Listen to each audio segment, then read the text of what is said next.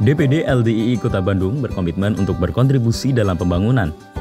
Wujudnya dengan membantu pemerintah kota dengan delapan program bidang pengabdian. Untuk mengembangkan program tersebut, pengurus LDII Kota Bandung menghelat rapat koordinasi atau rakor untuk merumuskan program kerja tahun 2022. Edi Sunandar, Ketua DPD LDII Kota Bandung, mengatakan bahwa program kerja pada tahun mendatang memfokuskan pada kaderisasi serta peningkatan kapasitas sumber daya manusia. Hampir setiap bagian itu ada eh, pelatihan-pelatihan, kemudian ada juga uh, yang mengajukan seminar. Tujuannya tentu supaya eh, SDM dari pengurus DPD di Kota Bandung ini meningkat dan ada regenerasi.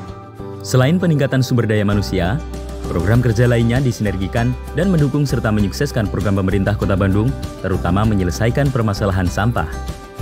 Lebih dari 50 persen uh, program itu mendukung dari kegiatan-kegiatan pemerintah.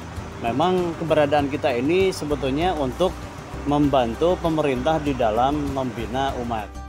Acara rapat koordinasi program kerja ini dilaksanakan pada tanggal 23 dan 24 Oktober 2021 berlokasi di Hotel Arwana Pangandaran Jawa Barat yang diikuti oleh jajaran pengurus harian serta 12 ketua bagian bertajuk Rapor Peningkatan Karya Kontribusi dan Komunikasi Klik like jika menyukai video ini dan subscribe untuk mendapatkan berita terbaru dari LDII TV.